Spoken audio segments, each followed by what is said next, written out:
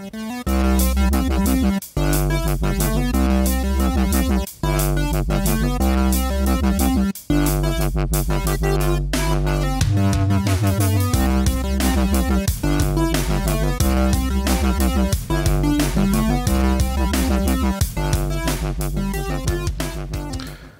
everybody, welcome to another episode of the Lit RPG Podcast, episode number 288 of the show. Um, I'm Ron here, here to bring you the latest Lit RPG news, reviews, and author interviews. This week I have three new reviews for you folks at home. That's going to include uh, The Mysteries of the Relict Pyramid, Reality Benders, book number nine, uh, Dungeon Walkers, book number three, and He Who Fights a Monsters, book number six, uh, which came out a little bit ago, but just just doing the podcast now. So here we go. Uh, before we get into any of those reviews, though, we're going to go into some lit RPG news.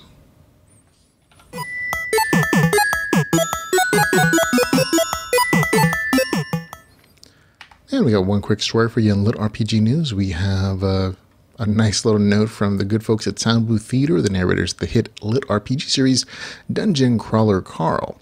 Uh, they've released a standalone song and the voice of Princess Donut from the same series. It's actually a surprisingly good song. Uh, I think it's kind of cute. We'll play a little bit of it for you at the end here. Um, but it's meant for you know for fun for readers and I actually charge you anything to download it. You can pick it up. You can hear it on YouTube. We'll have a link in the show notes, or you can download it from the Soundbooth Theater uh, website where they sell audiobooks on their own stuff uh, before they put them up on Audible. Uh, and you can download it for free. And if you wish to choose to, you can actually tip them.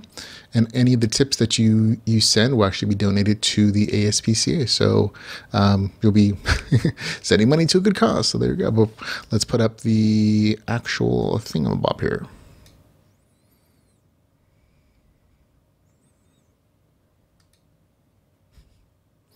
Okay. Oh my god! This is my song! This is my song! Today is gonna be the day, gonna fireball an orca too.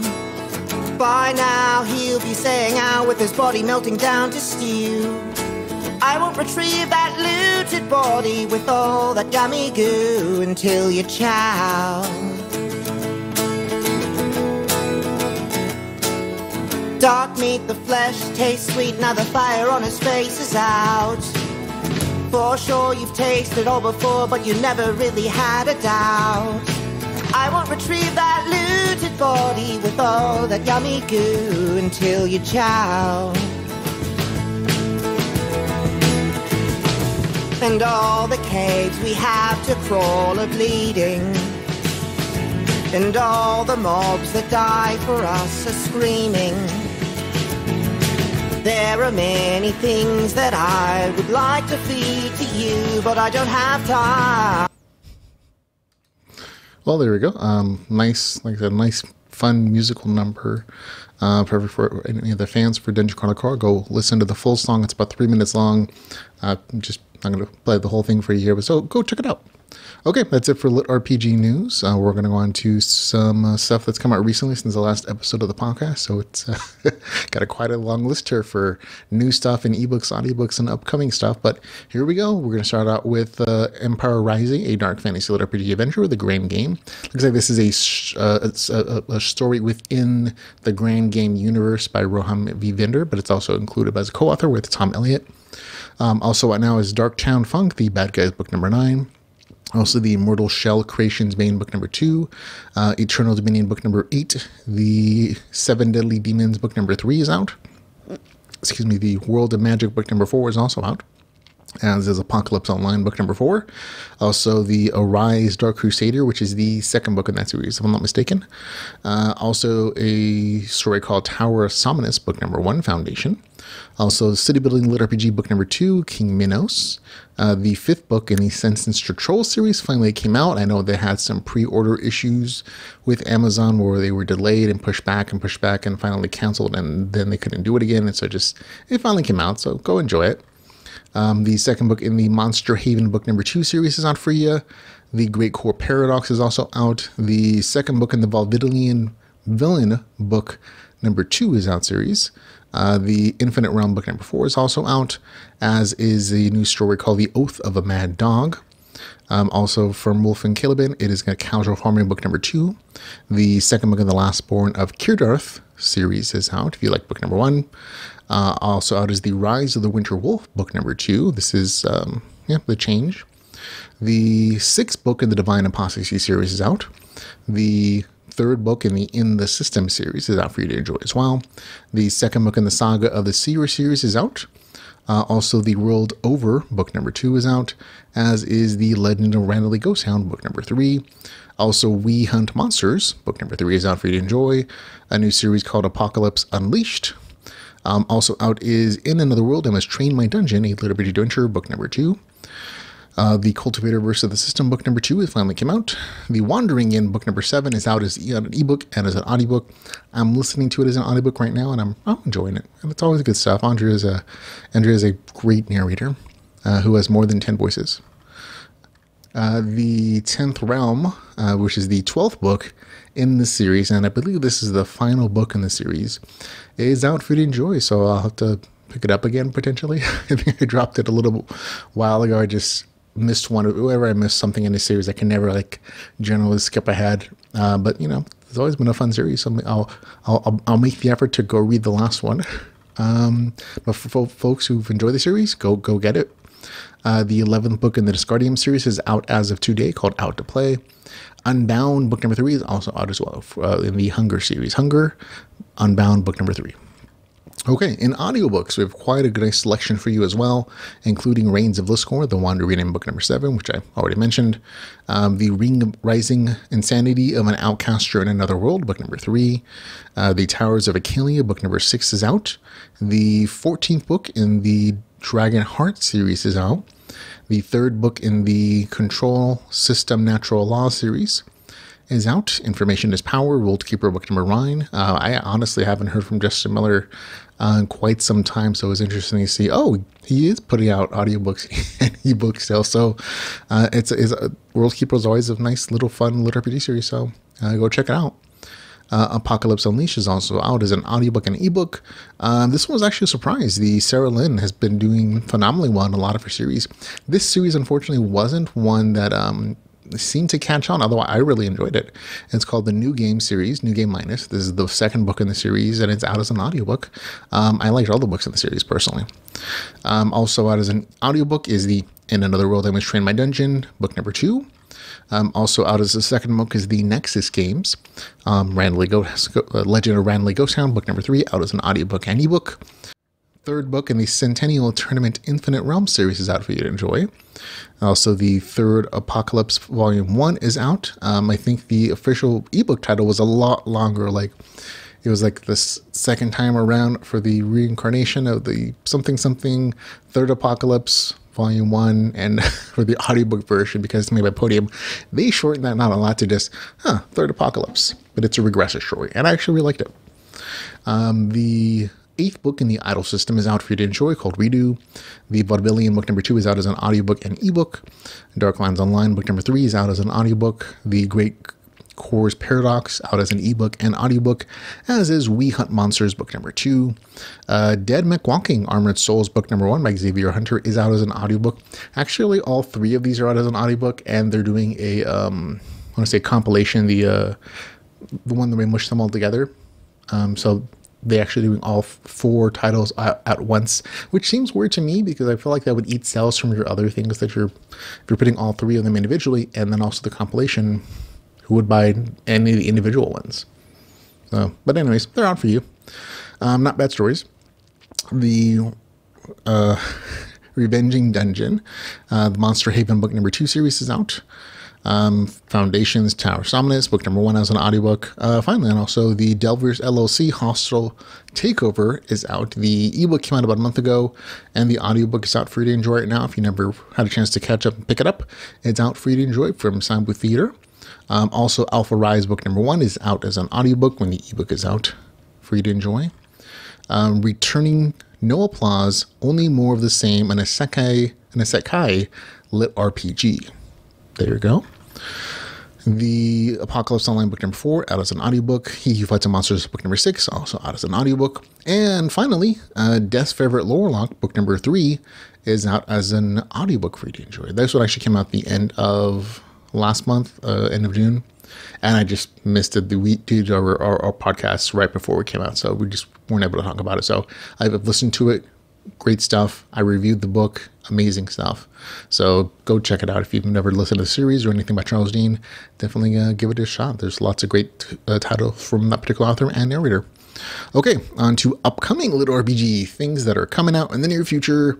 Uh, this is going to include last couple days here in July, all of August, all of September. So if I'm missing anything, like your ebook isn't showing up on Amazon for some reason as a pre-order, um, let me know. Um, otherwise, this is a great place for listeners to like be able to plan out their listening schedule or reading schedule as their budget allows. They can like, oh, this one's coming out here, gotta spend my bucks. This one's expensive. Or if you have KU, gotta plan out my, my slots. Um, so, as of July 28th, we're going to start off with Undead Reckoning, Realms of Power and Fury, book number four. August 8th is going to bring us Summoner Shadow, book number three. August the 9th is going to be Solo, Solo Leveling, volume five. I think this is an amazing series. I love the manga or the webcomic version of it. Novel, uh, ebook novel hear is even better. Um, also out on August the 9th is going to be The Way Ahead, book number two. On August the 9th, it'll also be the RPG Apocalypse book number 3. August the 11th, it'll be the Trickster's Tale book number 2. August the 11th, it'll be Alpha Physics book number 6. August the 15th, it'll be the World of Chains book number 4, The Court Bard uh, by Lars M. This has actually been a fantastic series. I've enjoyed every single book here, so definitely encourage you to read this one. Um, on August the 16th, it'll be the Deathless Dungeoneers, the Dungeon Diver Adventure book number one. August the 16th, it'll be Kairos, book number three. August the 16th as well, it'll be Defiance of the Fall, book number six. On August the 17th, it'll be the Vaudevillian, Vaudevillian, book number three. I always want to say something else Vaudevillian, like another noun for some reason. So it's just it's just Vaudevillian, um, book number three. On August 22nd, I want to, it's going to be Untamed Lands, the Four Laws Lit RPG book on August the 23rd, Neverstone book number three. August the 23rd as well, it'll actually be a new book from James A. Hunter um, from the Viridian Gate Online series, which is uh, ended, I believe. And it's going to be called Virgil Justice. Now, this isn't necessarily in the same universe. I don't think it is. Uh, I remember reading the novel description, just it's an entirely new thing uh, by an author that you probably love, like I do. Um, on August 23rd, it'll be the Battle Mage Farmer book number two. August 29th, Legends of the Six Realms, book number one. August the 30th, The Primal Hunter, book number three. August 31st, The Bone Knight, book number nine. On July 29th, it'll be Harbinger of Destruction. On September the 6th, it'll be Steamforged Heresy, Steamforged Sorcery, book number two. And August, sorry, September 6th, it'll be Sky Raiders, King's Lead, book number four. September the 6th, it'll be Chrysalis, book number two. September the 9th, it'll be The Range, book number five. September the 13th, Badges of Dorkham, book number three. On September 13th, it'll be He Who Fights with Monsters, book number seven. On September the 25th, it'll be Tower Apocalypse, book number two. On September 26th, Prism Academy Demis, a Little superhero adventure. On September 27th is My Best Friend is an Eldritch Horror, book number one. On September 27th, it'll be The Temperamental Enchantress, a new home, book number two. September 27th as well, it'll be the second book in the Apocalypse Cultivation series, Savage Webs. And that's it. That's all the stuff I can find for July, August, and September. And again, if you we also have all these notes and lists and links in the show notes and also on our website at littlepodcast.com in a recommendation, recommendation section. So if you want to go check it out, you can always uh, find us there. So on to the new releases and reviews.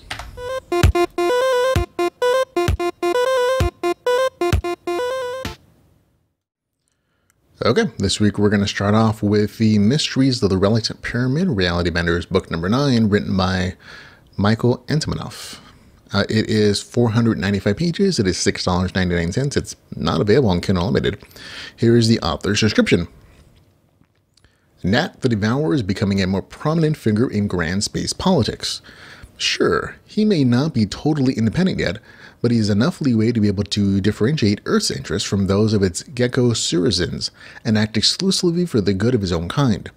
Gnat must balance obligations to his almighty citizens against a desire to advance humanity's position in space, in space and his home planet's search for the evermore allies. Although Earth's masters are not big fans of his independent ways, the Great War has shifted the historical balance of forces, and the Geckho are no longer as powerful as they once were, leaving them to do with no choice but to abide the Kung of Earth's antics. So, will Earth be able to take this chance and free itself from alien control completely? And if so, is it even a good idea? And that means one of the human leaders will have to back down. Okay, that's sort of a weak description. It, it really, I mean, it, it, it does have some of the ideas, but it, it at least a, a, little like, okay, that's, that's a, that's a statement. Now about saying what you're going to do here. Um, full disclosure, I received advance copy for review. I purchased a copy when it became available. Um, this is a fun series. It really is. Um, I, I've never been disappointed with anything in the Reality Bender series. I'm probably going to say I still enjoy some of the first books a little bit more but this has still been a, a very nicely told stories. It, it is very slice of life, and that the main character at this point is is, is writing a space opera kind of story where um, everything's happening in space. He's he's always away from Earth. He very rarely even gets out of his capsule, which puts him back in, in a normal space and not in the game that alters reality. Um, and so it really just feels a lot like a space opera. The main character and his ship go to different places. They they fight in these huge, big, epic space battles in the, in the novel, um, and they have these um, bit of intrigue between these different factions um, and trying to decide where he wants to invest his time and energy to further humanity's ability to survive in this like ever complex and ever aggressive universe and against these alien forces. Um, and so again, it, feels very space opera, but again, there's still the same level, for better or worse, of of the RPG progression from the last few books. And the, the main character, when he does stuff, he gets notifications, he gets level increases, he gets stat skills. Um, and you know, so they, all that exists as notifications um, in in the story. So, so so there is still some RPG progression. I mean, it's not something that necessarily um, is is a main focus of the story like it was in the like the first few books in the novel. Him focusing on leveling up and figuring out the rules of the game. At this point in the story, he's he's already advanced his class and his position within this uh, hierarchy of, of, of kungs and whatever other titles they do for for people who, who have influence within their universe and their their game universe. Um, and it's just, you know, it's fun in its own way. But at this point, you would have had to have read all the other books to really appreciate these things. So um, for me, as I was reading, I found like some of the best scenes for me weren't necessarily the space battles, which are really good. It's just some of the smaller scenes, the smaller interactions with characters that I've already come to really enjoy and seeing how they come together. I was like, oh, some of those like really small scenes, like uh, they're really just like a couple like they're just like really well run. Like, oh, this is I want you to be happy, and that's always a good sign. It's always like you being engaged with the story and the characters. Um, one of the only probably negative things I could say is like, oh, there's there's a towards the end there's this uh, betrayal that felt a little, you know, forced and not particularly impactful. Um, but other than that, not everything in the story is really entertaining. So for me, uh, gets a score of seven point seven out of ten. I read this thing in like, in like two sittings. I've always enjoyed it, so it's always gonna get a nice, good review for me. It's better than average, so like nice, uh, like really good, entertaining story. But of course, if you're this deep into the, this series, you probably already know that. So that's the Mysteries of the Relict Pyramid, Reality Benders, book number nine, uh, with a score of 7.7 out of 10. Okay, next up is going to be Dungeon Walkers 3 by Daniel Schinhofen. It is 568 pages. It is $4.99. It's available on Kindle Unlimited, and here's the author's description. Since starting a crew and a relationship with Kyra and Trish, Stern was hopeful and nervous. They'd officially registered their crew, positively irregular, and their icon depicting a polydactyl cat's paw. Leaving Darkstone behind, they arrived in Waterrock, settling in to find more crew members. Uh, a lucky encounter introducing introduced them to Cammy and Volk, Dwarven siblings, and the two were hesitant but agreed to a trial run through the local dungeon. that first run went well, and Cammy and Volk signed on permanently with Stern's crew. However, the camaraderie was a little lacking, so they spent time in the city training and getting to know one another. By the time they reached the town of Whitewater, they'd started to gel as a unit until both inside and out of the dungeons. It's a unit both inside and out of the dungeons. During their time together, Cammy and Volk admitted that they were running dungeons to save their mother, who had been fractured when they were children. It was after a night out that Volk met his future wife, and an old enemy came back into Stern's life. Victor Bloodcoin hadn't given Stern his son forgiven Stern for his son's death, and by using Volk as a hostage, the old mayor forced a confrontation. Once that unsettled, Victor was dead, Volk had been freed, and Stern had a goal, carrying calling on his family. He had the dwarves' mothers revived, re- retrieved and reborn, then brought her to the city. The happy reunion allowed Volk and his lover to settle down and marry. Um, I'll be honest, all that stuff is like from book two, um, so it's kind of a long intro. It continues. Uh, Cammy stayed on even though her brother had given up running and the crew headed north towards Mistwood. The writing was nearly on the wall and emotions were running high. They needed to find more crew members and see how that would affect them. They'd find out when they reached the next city. Whoa, that is such a long intro. Like, I'll be honest, that introduction is longer than my entire review. And only that last paragraph really is like, oh, that's that's what's happening here. So, you know, okay, this is a slice of life um, this is a slice of life story. You're really just on the main character and his group as they go dungeon diving, and they have conflicts with other characters because the main character has a certain um, visual appearance that reminds us of, of, a war that happened that that happened a while ago. Uh, people are still on edge about it on a regular, um, and it, it's really about that that prejudice and those conflicts that occur with other people, um, and a couple of recurring villains which have kind of been phased out as of like book two, um, but are mentioned in this novel description um, and that's what it is. So it's it in that respect. I've always enjoyed it. It's it's a it's a good, solid, entertaining story, and there's a lot of people who really enjoy it. It has a polyamorous uh, relationship, like a lot of the other things by this author, but in this particular book, there's no sex scenes. Like there is some romantic stuff, um, but you know, but there is adult content of like, oh, this is like real relationship that involves um, talk of being attracted to one another and kind of fade to black scenes occasionally. Um, but overall, it re- that's a very small section of the story. Most of it is just kind of this dungeon diving slice of life nature, but trying to find other groups in this particular instance, to to add into his his you know his now sh- you know shortened group since someone in the group left at the last book.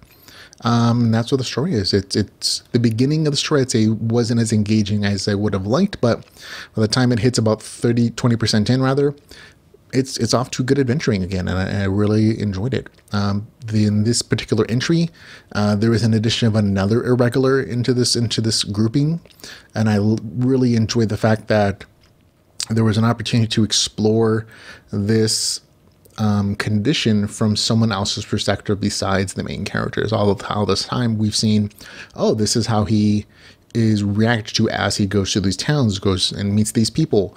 Um, it was nice to see someone else's perspective and how they either had it worse or better or their own particular issues.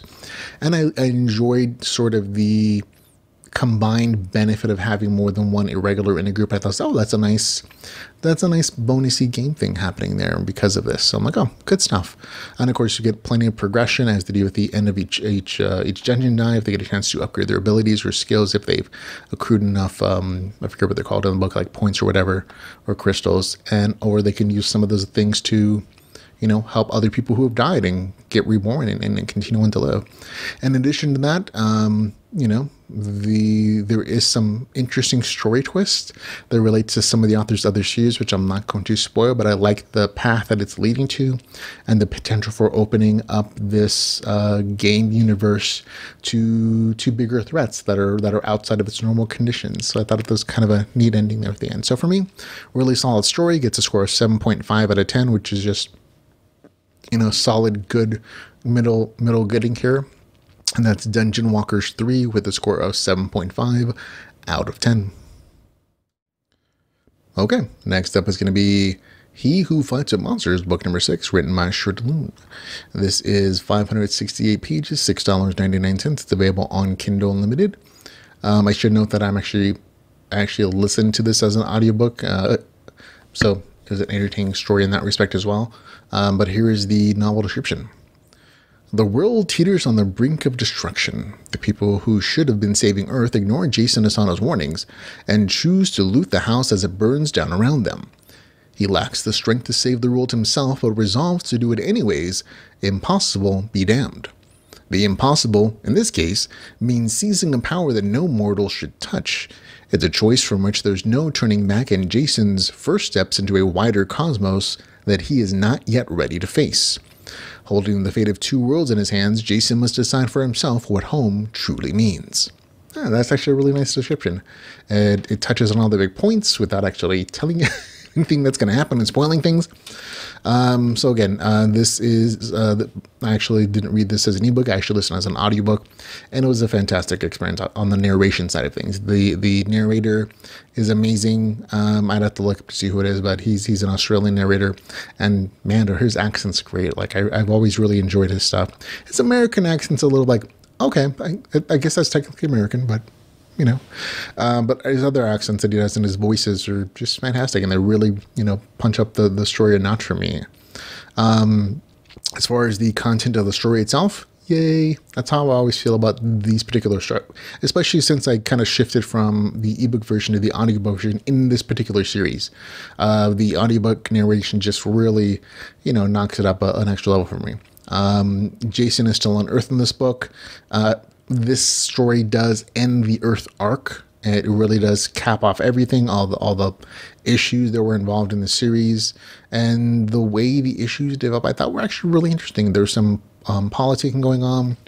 There is some, um, you know, working with the enemy, enemy for the greater good kind of stuff going on in the story. And I thought all those social conflicts and all the, you know, betrayals or whether or not they happen or not, or the tough almost villainous choices the main character may have to make, um, you know, for the benefit of humanity to make sure that his Earth, his home planet, you know, and his family and everything all survive. And some of the threats that are made because of those decisions all had very good and realistic consequences. And so I, I really enjoyed those conflicts. And, and, of course, the action is always good. Like the actual physical fighting stuff is plenty, plenty of this thing. This is a, a good, long, entertaining story. Um, there are a few places towards the end where I was like, oh, those villain actions felt a little bit forced and they felt a little like, oh, these things happened out of scene and we're just letting you know about them now so we can do this, further this plot thing.